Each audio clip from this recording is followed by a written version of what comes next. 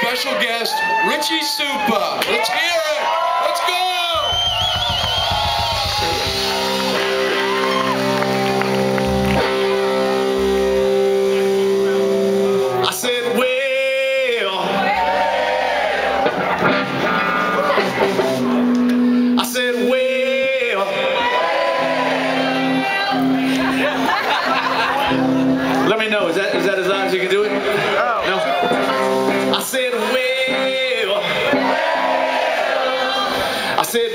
was living in doggy style.